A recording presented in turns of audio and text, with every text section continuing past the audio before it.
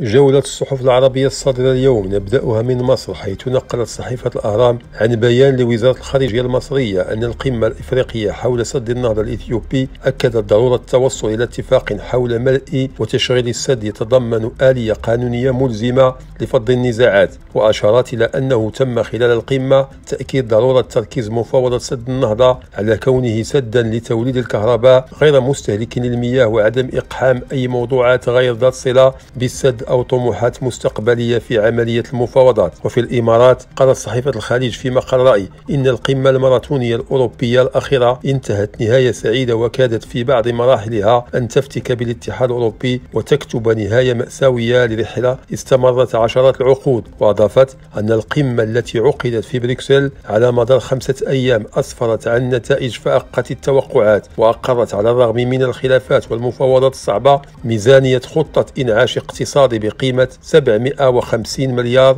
يورو على شكل منح وقروض لمواجهة الركود الذي نجم عن جائحة كورونا والأهم أنها أبقت على أوروبا موحدة. وفي قطر توقفت الصحف المحلية عند جائحة كورونا ومعركة اللقاحات حيث تنقلت في هذا الصدد تصريحا للمدير التنفيذي لبرنامج الطوارئ في منظمة الصحة العالمية مايك رايان استبعد من خلاله بدء استخدام اللقاحات الجاري تطويرها لمنع الإصابة بمرض كوفيد-19 2019 قبل سنة 2021 وفي البحرين كتبت صحيفة أخبار الخليج أن منظمة تابعة للأمم المتحدة حذرت من أن أزمات اليمن الغارق في الحرب تهدد بزيادة عدد الذين يعانون من مستويات عالية من انعدام الأمن الغذائي بنحو مليون ومئتي ألف شخص خلال ستة أشهر.